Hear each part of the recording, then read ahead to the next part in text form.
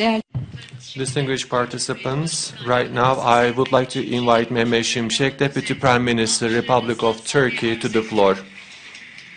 hoş geldiniz efendim. Welcome, sir. We are honored.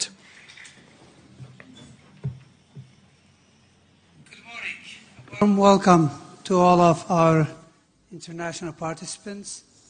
I have a presentation, it's in English, so I'll continue in Turkish because probably uh, we have a larger Turkish audience.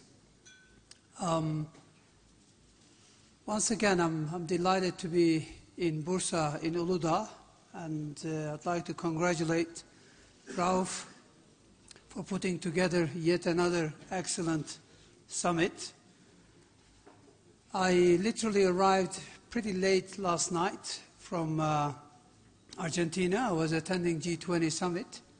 I'm pretty tired, as you can imagine. It was almost 24-hour journey, including the connection via Sao Paulo. So, uh, but I still I can I can manage to do this presentation and go on and work all day.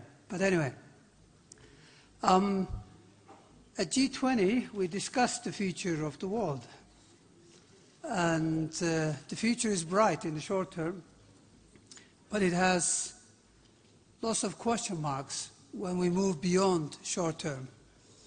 Medium, long-term outlook are clouded by a number of major challenges. And uh, unless we can work together, I, unless we can have the same spirit that we had back in 2008, when we were faced with a global financial crisis, it may well actually be the case that some of these risks in the medium term materialize. I got carried on in English, but that was my summary. Evet, hepiniz hoş geldiniz. Bir İngilizce giriş yapayım, bir özet yapayım dedim. Ee, G20'de dünya ekonomi... G20 meeting, we have spoken the future of the world economy. The outlook of the world economy is quite bright. The world economy is actually growing.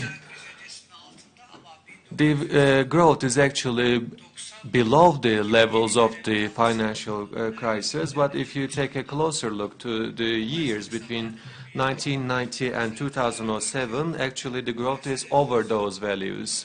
The competition is increasing and the global uh, inflation is under control. And as I said, at the uh, short term, the future is bright. Of course, there are certain risks, but the materialization of such risks are quite low. But the midterm and the long-term risks are quite high. And if we take a closer look to those risks, what we can say? If we exclude a couple of countries uh, like Venezuela, we can say that all the countries and their economies are growing. So we can be speaking about uh, international global uh, growth uh, in a synchronized manner. The synchronized uh, growth periods are not actually lasting long because it actually leads to inflation pressures and the increase in the uh, oil prices and it can also bring about the contraction in the monetary policies and uh, the normalization in the monetary policies. And if you take a closer look to the picture in here, in order to overcome the financial global uh, crisis, the World Banks actually use over $20 trillion of monetary expansion. And a couple of uh, World Bank their balance sheet and their national income ratio is over 40%. And this actually leads to a boom in the asset prices. This is a very uh, basic graphic indeed. But this graphic is also showing us that the asset boom is uh, actually uh, growing. The ratio to the GDP is actually booming. And this eventually will translate into a risk. The unemployment rate is decreasing day by day, and this is a good news actually. But this is actually recovering the global output, and this means that the inflation will come as well. And after the financial global crisis, the growth has already initiated, but without employment. The employment increased, but this didn't reflect into the increase in the salaries, into the wages. But right now, the employment is increasing, and as a result, uh, the wages are also increasing, the salaries are also increasing, and this is a good news for the uh, societies in general term. But we can also say that the monetary contraction, uh, contractionary monetary policies most probably will be implemented. Most probably in the upcoming days, the, uh, the Fed will continue with the uh, contractionary monetary policies. They had a meeting very recently, and most probably in the near future, they will be coming up with those interest rates increase, and you can uh, easily see that from this blue line, and the expectations for an increase in the interest rates are quite high. The geopolitical risks are the other types of risks that we are encountering in the world today. As you can see, these red areas are the areas in which the conflicts are ongoing in many of the uh, places of the world, we cannot say that the peace is actually existing. There are certain geopolitical tensions and conflicts. But of course, the biggest risk that the global economy is facing with is the protectionism. Everybody knows 1927 uh, Uh, approximately 1,000 precautions, protectionary precautions, lead to the Great Depression, and afterwards, the Second World War followed. So we are, from time to time, asking ourselves whether we are on a global trade war. And there are certain implementations which are totally wrong. And this is actually a reality. After the financial crisis, global financial crisis, the protectionism is increasing in the global sense. But right now, there are uh, certain silent uh, protectionist precautions which are actually not striking attention. But uh, right now, starting from the United States of America, very obviously and very explicitly those protectionist precautions are being taken. And this cannot be something good for the global economy because the most important engine of the global economy is trade international trade. And we have to open the pathway for an international trade. Openness to the international trade was quite beneficial not only for Turkey but also to the globe. Billions of people actually uh, got rid of uh, the poverty and they found good health and education opportunities. The average lifespan increased in the world. And we can say that the world, in the global sense, benefited a lot from the globalization and the openness to the international trade. Of course, on certain regions, there were certain problems in certain industries, there were certain bottlenecks. But rather than solving those bottlenecks and problems, we actually couldn't, uh, we should actually prevent uh, the translation of populism to the protectionism, which is actually the result of those financial crisis. And in G20, we discussed those topics. And maybe if I can exclude one country, the other countries were actually on the same mindset as I had. In these times, we are in need of uh, reforms, structural reforms. But unfortunately, the structural reforms are not uh, actually going on fast in the globe. There is a slowdown in the structural reforms, and unfortunately, we need those structural reforms these days more than ever. Investments are unfortunately is quite constant, quite stable. Of course, the developing countries and their investments are increasing, but the blue, blue line is showing us that the ratio between the investments to uh, the national incomes are actually below the levels of 1990s. Since the investments are not increasing, the productivity is not increasing as well. If the productivity is not increasing, then we cannot be speaking about a permanent welfare. And if you take a closer look to the global productivity, you can see that there is actually a downward trend. And world is under a huge debt because the debt the global indebtedness ratio to their national income is approximately 23%. Okay, we don't have any problem these days, but if the interest rates are increasing, then uh, the payment of those debts will be turning into a problem. Then you can ask this question to yourselves. The world cannot increase the interest rates permanently and continuously because if we increase the interest rates all the time, then unfortunately the growth will be uh, decreasing as well. The leverage ratio should be reduced these days. And if you take a closer look to the developed countries and the developing countries, then we are actually facing with an important uh, debt problem. And this actually limits the growth uh, of the globe. Starting from 1950s until today,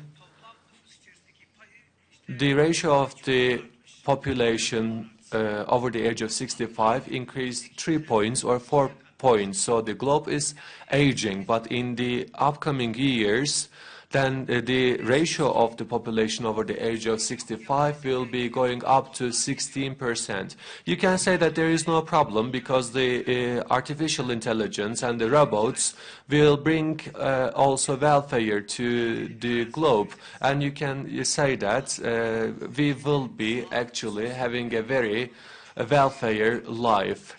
But we can also say that, especially in the fields of health, we will have important uh, problems. For example, the babies that are born today most probably will be living maybe 120 years or 130 years. And how the states and the governments will be able to uh, satisfy and answer to their health needs. One of the most important messages in G20 was that robots will not actually steal our jobs and will not uh, manage uh, in the globe. Of course, this might be the reality in the short term, but this doesn't actually eradicate the concerns, the social concerns. And uh, in the G20 uh, meeting, the most important theme was the future of work and future of employment. And this aging population is a problem, and injustice, especially in terms of the distribution of the income, is a big problem. And I believe it is the core problem uh, for the other problems that we are encountering with. The rightist governments and the populist governments and the political parties are actually feeding uh, themselves from this injustice uh, and the unequal distribution of the income. And as a result, there is such a popular support for such kind of uh, governments. Uh, and this is actually a huge question mark for the future of the globe. For the short term, the future is bright. For the midterm, uh, there is certain ambiguities, and especially we can uh, solve those uh, problems we should come together and we should discuss and we should convince each other. And that's what we have tried to do in G20 meeting, but I'm not sure whether we have been successful or not. Of course, uh, there are certain uh, steps that are taken back for the protectionist precautions. Turkey has grown even faster than the global average. In the last 15 years, Turkey has grown approximately 5.7%. Although there has been many shocks in the region, the terror and the chaos in the Middle East, and also this uh, treacherous military coup attempt. Although Turkey has had many problems, Turkey has grown 5.7%. Uh, you can say that uh, we have only grown by 1% more than the average of the Republican period. And this can actually translate into 2.6 uh, times. And if Turkey uh, was actually able to grow by 5.7% rather than 4.8%, then this would actually translate into $2.8 billion of more income. And we can say that excluding China and India, we uh, actually well beyond uh, with comparison to the other countries in terms of this strong relative performance. That's why when you take a closer look to the Turkey, the blue areas in terms of their purchasing power uh, parity, the uh, yellow ones are the uh, countries which are more actually uh, in poverty with comparison to Turkey. And we can say that our purchasing power parity will reach up to 28,000 US dollars. That's why we believe that we actually covered uh, the uh, gap between Europe by 20 points, uh, with the USA 20 points and 28 per, uh, 8 points with the European Union. And within 14 years, if, as the business usual scenario, the Turkey will actually cover the gap with the European Union, and this dream will be a reality in the future. In which terms there was this real convergence uh, and in which uh, periods uh, we actually uh, had a downward trend. This might be seen from this uh, picture. And we can say that within uh, decades, Turkey actually covered this gap by 3.6 points each decade, and most probably we will cover the gap even further. And 2018 will be even better because last year Turkey actually uh, finished the year by 7.5%, and for this year we are expecting a 5.5% of growth because the investments will be increasing, and the private consumption is strong, and the uh, foreign demand is quite strong. The capacity uh, uh, actually usage uh, ratio is quite strong. And we are also giving uh, so many uh, promotions for the investments. And credit guarantee mechanism was put into force for the investments. And the biggest uh, resource are being allocated to the in, uh, investments. When you take a closer look to the consumption, uh, you can see that Turkey uh, also has the population of 81 million and uh, if we also include the Syrians and the Iraqi people in Turkey, we can say that the population of Turkey is almost 85 million. So Turkey is actually the country with the highest population rate in the Europe. And uh, in the recent years, Turkey found uh, actually employment for 8.7 million of its people. And the population of the Europe is approximately 512 million, and only 28 countries were able to find uh, employment to 5.2 million of its citizens. And this is actually a great uh, accomplishment for us. The tourism is actually recovering and the foreign demand uh, to our products are increasing. And the European Union uh, actually is growing as well quite strongly. And this is actually a good news for us because Turkey actually is in an era in which the local demand and the foreign demand is, is strong and the tourism sector is recovering as well. Of course, if you grow so strongly, then uh, there will be certain side effects. And this is inevitable, of course. After many years, Turkey, unfortunately, is facing with an inflation problem which is over 10%. In order to reduce this inflation rate to the single digits, we are actually exerting a lot of effort. And the biggest reason for that is the devaluation of the Turkish lira. As you can see, the imported intermediary products uh, actually increased by 30%, and this is the biggest problem. The depreciation in the currency is actually related with the economy, partially, but it is also partially related with the political developments inside of the Turkey and outside of the Turkey. Because for our right causes, especially, uh, there are certain countries who are against us. And in Syria, for example, we have serious concerns, and our allies are not understanding our concerns. And this actually brings about a negative impact, impact to our global trade network. Uh, for this uh, uh, Fethullah terrorist organization uh, who actually uh, committed this military uh, coup attempt. We are fighting with them, but certain of our allies are not understanding the situation. And when uh, such kind of events are being reflected to our global trade network, this translates into the devaluation in the Turkish lira. The food prices are also uh, decreasing, and this is actually a good news and we have used tight monetary policies, and this was actually uh, an important uh, reaction, and in the upcoming years, this will work. And we are assuming that the Turkish currency will not be depreciated even further, and the inflation will be taken under control to the single digits. As the Food Committee, we have also taken many precautions.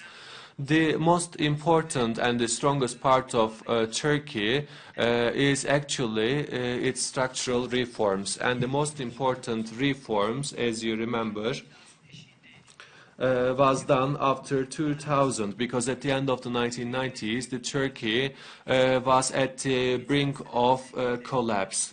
Especially, although we have uh, supported the real economy, the uh, government uh, debt was approximately 1.5% because the average for the developing countries is approximately 4.5%. And uh, in terms of the debt, the public finance is quite strong and Turkey can actually react to such kinds of shocks. The banking sector is quite strong. Our capital uh, solvency ratio is uh, quite strong. It is even two times more than the international uh, average. And the actives, uh, the assets quality is quite good. The uh, leverage in the banking sector is quite low as well. One of the most and highest uh, countries in that regard is Turkey. And the profitability rate is approximately 16%, uh, uh, and I believe that this is quite reasonable because the inflation rate is high. One of the most important topics uh, was that the expansion in the credits and the credit guarantee fund uh, was quite important in that regard. And the credit expansion is actually on the reasonable level. This translates into the decrease in the inflation rates and the current account deficit. And this green line is showing us the credit expansion for this year. In the banking sector, the credit deposit ratio is quite high, and the capital market should develop and you should actually penetrate into the capital markets. In these years, uh, the interest rates are quite low because the global indebtedness is quite high. So the interest rates will be increasing and please do not borrow and if you have to borrow, then you have to go into the capital markets. Why? Because the cost of borrowing will be increasing, but it is not actually on your hands to increase your profit because the competition is harsh. It is not at your discretion and on your hands to control the, your income, but controlling your costs of borrowing is actually at your hands. You have to increase your productivity, and being innovative is actually on your hands although debt is a triggering factor for uh, the courageous uh, businessman, but debt might be translating into a problem. In terms of the external debt uh, rollover ratios, we don't have any uh, problems. I have spoken about our two strongest uh, parts, banking sector and the public finance. And I said that the inflation was a problem. And the second important problem of us is the current account deficit. Its ratio to our national income is over 5.5%. Uh, this is actually resulting from the import of oil and the gold. But we have to decrease the current account uh, deficit below the level of 3%, and this is possible for the mid and long term, especially there is such a close correlation uh, among the current account deficit and the consumer credits. Since the credit expansion has been reduced to the reasonable level, then the, we can say that the uh, current account deficit will be uh, reduced. In the uh, next year, we hope that the current account deficit will be below 4%. Unfortunately, the financement of the current account deficit is not at the quality that we desired. And this actually creates a fragility. And we are so much careful in that regard especially in the near term, uh, the reforms will be made for the investments and our relationships will be with the European Union will be improved and our financial resources will be diversified and the IPOs, initial public offerings and the um, privatization will be increased so that we will be able to uh, attract uh, resources from the foreign markets and uh, that's how I hope uh, this uh, situation will be sustainable. Mergers and acquisition in Turkey is increasing, and this is a good news. Can we say that Turkey is highly indebted? No, we cannot say this. The, the indebtedness ratio of the Turkey to its national income is 40 to 41 percent. And you have to actually take into the consideration of the public debt. So the average of the public debt is approximately uh, at 28.5%. Uh, and the household indebtedness ratio is 18%. For the financial sector, it is 24%. Only the real sector indebtedness is uh, relatively high. Its ratio to national income is approximately 69%, and the global average is 87%. But of course, we cannot take the global average as an uh, example. So we have to be quite sensible uh, in the real sector indebtedness. And the foreign exchange debt is a huge uh, problem. Actually, the state is not indebted in terms of the foreign exchange. Our assets are higher than our liabilities and I can, uh, we actually uh, abolish the households to be indebted with the foreign exchange, and this was actually a very good move. The banking sector should be neutral because they can manage this situation uh, with the tools inside of their balance sheet. But our real sector uh, companies and their net position is approximately 230 billion dollars. Uh, they also have assets. I don't want to exaggerate this uh, issue, but this is an important topic. And our companies were quite smart in the short term. They actually accumulated foreign exchange. With the one-year term, our real sector uh, companies do not have net foreign exchange indebtedness. But this actually doesn't eradicate the midterm problem. So we are taking precautions, and what we are going to do. Uh, John F. Kennedy, the United States President, has a saying, and he says that you have to fix your roof when it is sunny. Right now, there is growth. Liquidity is quite reasonable. The interest rates might be deemed low. Right now, we have to fix our roof because the rain will fall. Maybe tomorrow, maybe in the longer term. But eventually, this global synchronized growth will not be continuing because we had its precedent. The rain will fall. I don't know how mm, uh, severe it will be. Maybe there is going to be a storm. That's why we have to fix our roof from today. And what we, do we do? First of all, we are actually strengthening our macro-prudential tools. So what does it mean? We are taking precautions. And for the monetary policy, there is this contractionary uh, monetary policies, and we are in line with that. And for the fiscal uh, policies, we have actually a room for maneuvering. And we are at the right, pathway once again, and our financial uh, policy is quite strong. But the most important topic is the reform, and we have to accelerate our structural reforms. The real sector is not happy, but we have to take precautions uh, anyway. And they are saying that please do not put any limitation to foreign exchange borrowing because the real sector has a huge gap, has a huge debt. And we actually put some limitation for foreign exchange borrowing to certain uh, SMEs.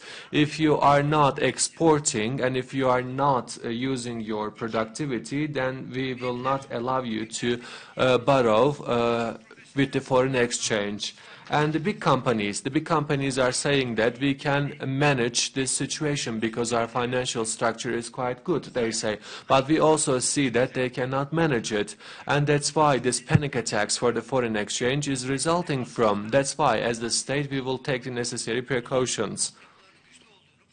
We know that the big companies are professional and uh, their uh, institutional structures are quite strong, but we will take our precautions. I have spoken about the monetary policy. For the fiscal policy, what I can say is that pro-cyclical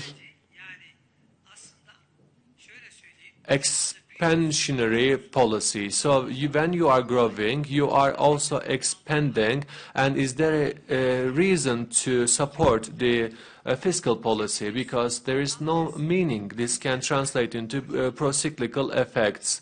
And we can actually limit uh, our uh, costs and we can increase our incomes. And in order to realize that, we have taken certain precautions. And we also have a room for maneuvering.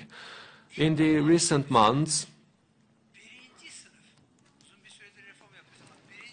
for a long time, we were able to do a reform which will improve the investment environment. It was a, a first-class quality.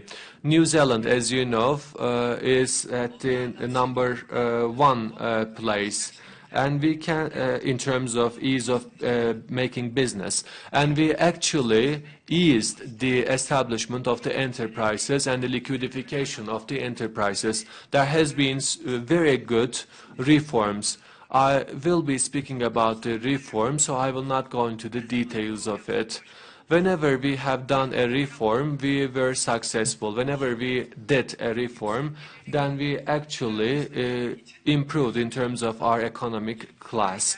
And if we want to uh, become uh, actually one of those developed uh, countries, then we have to do reforms. And here you see our key reform areas, and we are making those reforms uh, among eight and uh, ten different areas. Our most important priority is the education, and we are spending for the education. With a comparison to the OECD countries, we can say uh, that Turkey is actually spending even more than the OECD global uh, average. And this shows us that the uh, future is bright. And access to the education is increasing as well. And the access of the woman to the uh, education is increasing as well because we cannot fly with uh, we cannot uh, fly with single-handed. So this is actually a good development we call them STEM programs, science, technology, and mathematics. That, that kind of programs, science, technology, engineering, and uh, mathematics and technology program, the women uh, graduates are well over with comparison to the uh, OECD average, and we have to increase this average. We are improving the quality of our education. We are opening new classes and we are employing teachers. We are investing in teachers and we are investing to uh, actually to the technology as well. And in terms of uh, the education, in terms of the preschool education, we actually want the employment uh, and the enrollment of the students before, below the age of three years old. And if you can actually succeed in that, then Turkey uh, will never be caught. And we are also spending to the vocational education, and our target is 60%. And the share of the private sector in education is quite low. It is approximately 7.6% in Turkey, uh, and in the OECD average is 19.3%. And we have to increase this ratio by four times. Investments. In the last 10 15 years, every year, the investments have increased 10% in the real market. Actually, this is showing us that uh, there is an incredible increase in the, the global market and the profitability has also increased. China, India, and also when we look at those countries, we are higher. However, the construction business is really gaining a great ground. Those successful companies investing to the construction. Now, would you please invest your money to R&D activities, software, and technology for the future because it is more beneficial. Uh, and on the other side, the mechanics and also industrial and manufacturing businesses are the uh, future fields to be invested because we would like to increase our competitive power. Digitalization is very crucial. This is one of the hot topics. Now in a very low state, but we do have a high pace. This is a good news. Last year we have had a lot of reforms and investments really channeled to this field. As you can see, FID inflows, this graphic really clearly shows the 15 years story. 194 billion dollar of an investment which was being arrived in Turkey and 59,000 companies are now present. We have taken very important steps. We do have a long way to go still. And uh, of course, we would like to be less independent to the foreign investors and we would like to change our focal point. Actually, what we mean to do is, if I go a little bit back, if we focus on some certain areas, we achieve. When you look at the defense industry, it was 76% the defense industry transformed, and we do have a decline in our dependency to the foreign sources. It is approximately 32%. Target uh, is 20, below 20%. So if you focus, we are succeeding. Our dependency for the energy was above 60%. However, when we look at last year's figure, it is uh, there is the ratio of 50%, more than 50% of localization. So 70% of localization is being objected and of course we will be achieving it within five or seven years. In R&D activities we are not in the place that we are aiming to be but there is a quadruple increase in the patent applications. We are in the 22nd place. This is not enough. Uh, we need to be in the first 10 place. And when we look at the picture here, I would like to share with you, in this chart, in 1990, middle and over the middle scale type of technological products was only 17%. It's approximately 39% right now. So there is a development. Yes, we are behind Israel. We are behind China. However, we are rapidly transforming our structure and we would like to trigger this uh, transformation. For the middle-scaled and high-scaled uh, technological products, our aim to be reached to the 65%, and we will achieve this. We are moving up to the value chain. We do have well-trained people, well-educated people, and supporting also R&D. In innovation, we are at the 43rd place. For the SMEs, uh, I can say that they have become innovative. This is a TWIC study, and this is a very positive development. On the innovation level, we are on the 19th rank. This is not very bad. In the entrepreneur ecosystem, it, there is a need to be developed. We have done a lot of reforms last year, and we will continue them. TÜBİTAK's restructuring is a very important field. Very soon, we will be declaring our digital roadmap. There are a lot of topics. We do have limited time.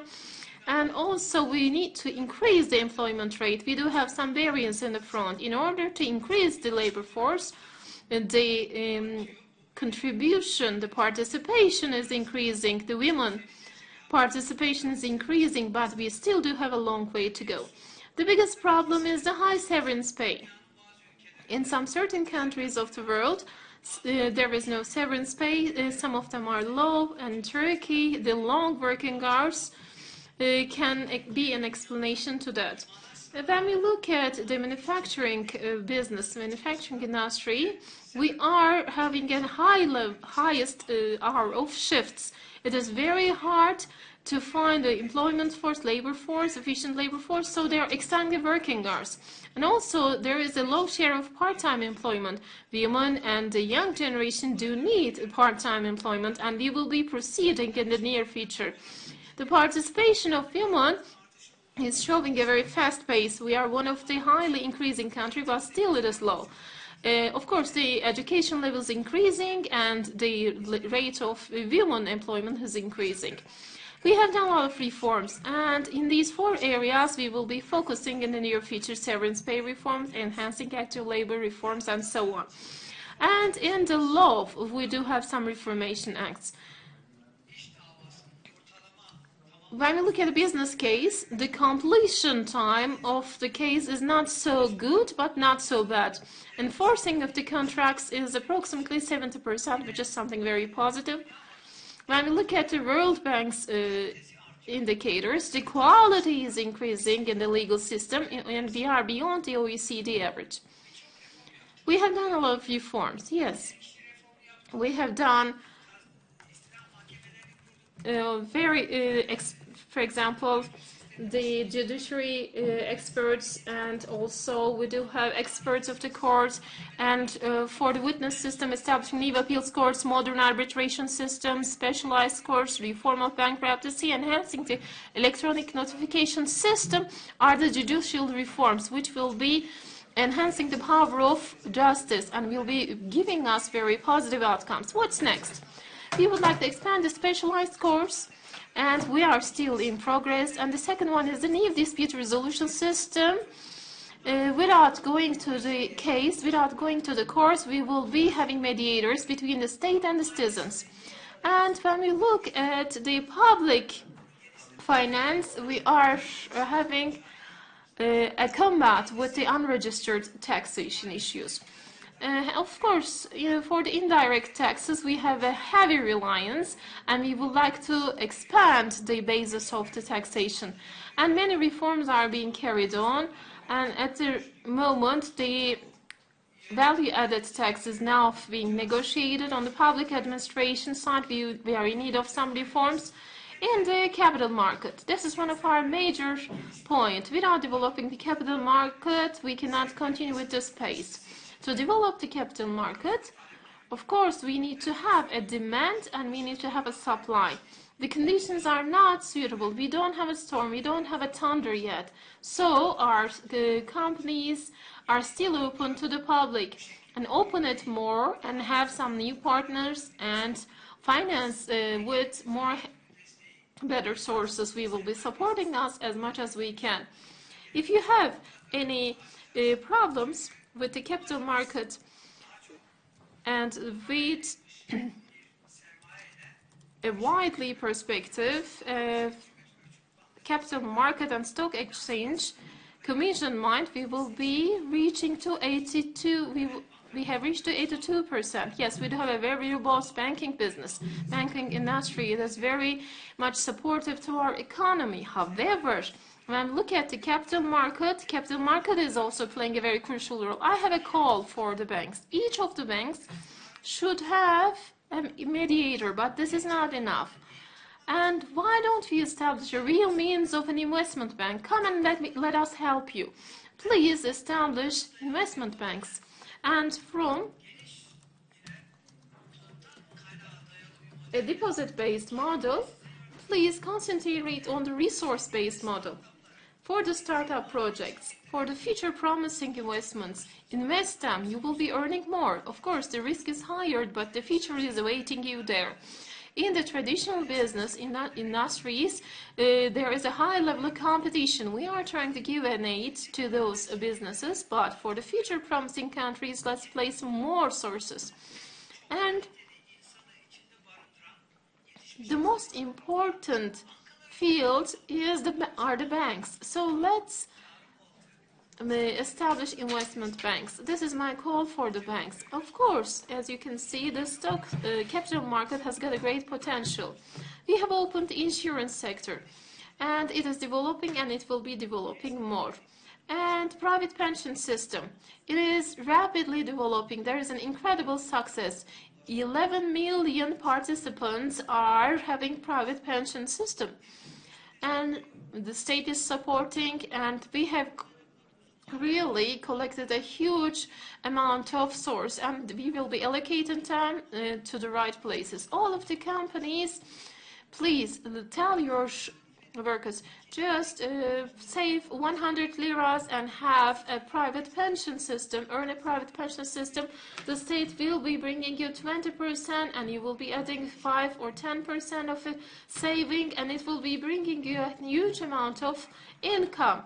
When you look at the general values of GDP in Turkey, uh, 35% and 40% of an earning will be coming. So private pension will be bringing you a 35, 40% of an earning. So the companies, please speak with your employees. Make meetings with your employees and acknowledge them, make more savings and make uh, create incentives for them to make more savings with the uh, private pensions of angel investing. We are in the fifth place in Europe, treasury facility for funds of funds. Uh, we do have 500 million facility waits for applications. Establish your structures, come and manage our structures with 5 million facility, which is awaiting you for your new applications. We are investing for the future. I have extended my speech a lot, I know, but we will be deepening the capital markets. This is the main scope. And of course, Turkey ties with the past. We will not be untying our relations. Look at this map.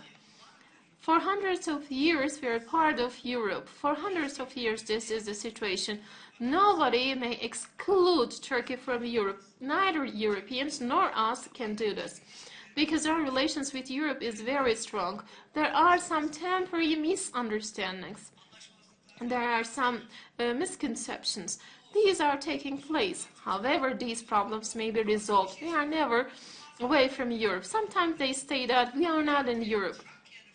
When we look at the Trakya region's population, it is 11 million. And this is the blue zone. It is larger than the countries that we are marking on the map. So Thracian population, that blue zone, many of the European Union countries, member European Union countries, are not as big as the Thracian region. So this map is telling a lot of things, actually. You're disrupting the tradition, okay. Uh, but when we come to 1959, as you can see, we have started a journey, and in this journey, inescapably, it has taken a very long way, and we are having some conflicts during this pre-marriage process. So EU needs Turkey. Really, EU needs Turkey. I'm not joking. On the economical side, about the security side. So in many fields, Europe really in need of Turkey. Of course, Turkey is in need of Europe. Turkey is one of the fifth largest export market in Europe. And the fifth largest trading partner. $160 billion of an export amount that we are speaking about. And Turkey is the key Europe's uh, energy supply security. Energy supply security passes through Turkey, and Turkey is the most reliable ally in NATO. One of the most important and strong countries in NATO. We do have the second biggest army, and we are the fourth biggest NATO contributor to UN peacekeeping efforts. So as a result, of course, Turkey as a reference, as an inspiration needs Europe. We need to enhance and we need to uh, restructure our legal systems, economical structures, neither in the east or neither in the south. We don't have an inspiration source. European Union is still our inspiration source. In summary, Turkey is the strategic partner of Europe, and no one may change this. I do not want to go into details. In the long run, The future of the global economy do have some question marks, but our uh, future is very bright. Population. The global population is becoming older. Our generation is still very young. Our population is still very young. For 20 years, if we can extend 5 or 6 percent, we will be catching Europe very soon. Look at the GDP. It is 25 billion dollar with the uh, purchasing parity, income per capita rate is that. And when we look at youth population, Turkish student population is uh, more than the other 32 European countries. 25% of our population is below the age of 15 and 16, by the way. By 2050, we will be the first 20 most populous countries. Syrians and the other populations will be making us to reach 100 million. This is the estimation of United Nations. This is something wrong. It will be most probably 100 million. Our employment amount is low. It will be increasing and we will be enriching. And the participation in labor force is low. It will be increasing and we will be flying. I'm not exaggerating. But these are all in need of reforms the productivity growth. When we look at the global picture, when we look at the OECD countries, we are in the fourth place. This is very important. Productivity is growing because the investments are increasing. Productivity level is low, but we will be increasing that. We do have three priorities, infrastructure, R&D, and education. And those three topics will have very rapid developments. The infrastructure we will be developing, we have developed what we will be developing the railway system and Turkey will be soon becoming the best. We are in the first 30. The infrastructure for the transportation, and according to the World Economic Forum, we are in the first 30 countries. This 30 is a very good number. This is a simple map. I want to show it to you because it is good to know. This is a multi-way road map, highway network in Turkey. High-speed railway projects, we are really passing our class for the high-speed train.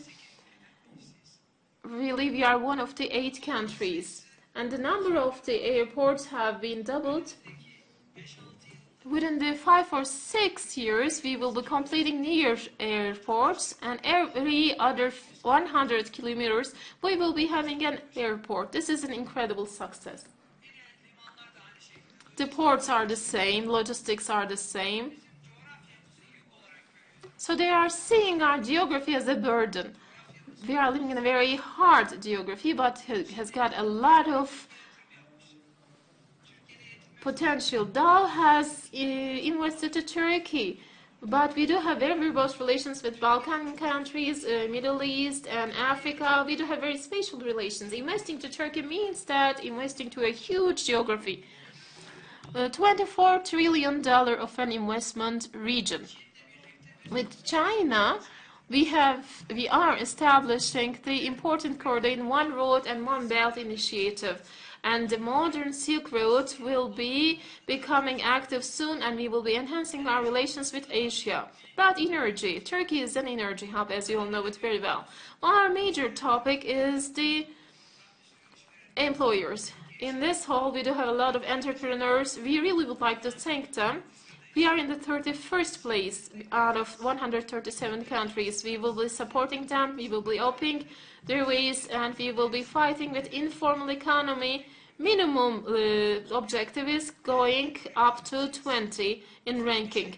And of course, when we look at the government transparency, this is OECD result for 2015 we are not so bad. According to OECD, where are we going to focus? We will be focusing on Africa, we will be on Asia, we will not be ignoring Europe by 2040.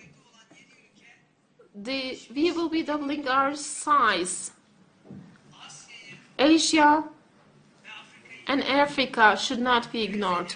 Brasilia, India, China, Russia, Indonesia, Mexico, these are all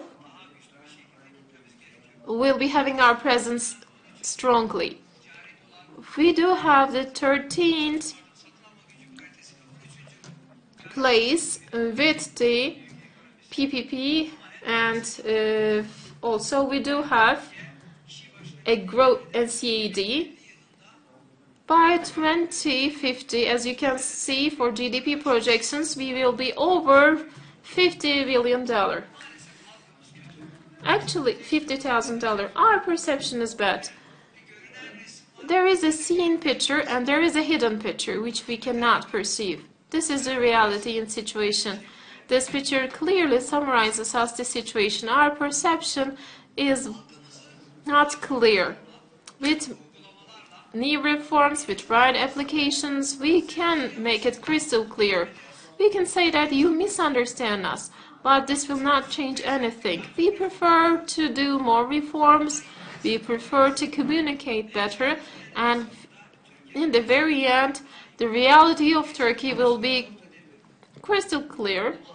There is no problem uh, in the presence of Turkey, but there is a misconception. I know I have extended my speech a lot. I'm beyond my speaking time. I'm very glad that you're all smiling. I'm not so much pessimistic about the global picture. There are some risks. And for Turkey, there are some risks. But if we take our preventive measures, if we get ready for the winter, and the winter is coming, the, win- the seasons are circulating, so we can achieve this. Despite those difficulties, we have created value. Turkey has become rich, and we will be creating more value. Actually, why are you all here? This meeting shows us that we can accomplish this. We believe in you. You will be discussing future. I will be organizing a lot of meetings, and I believe that this will be a very fruitful meeting. In the very background, I would like to thank everyone who have organized this event. I also would like to thank our international guests, and I would like to thank the ones who have created a successful event. Thank you very much for listening to me, and I would like to apologize for extending my speech.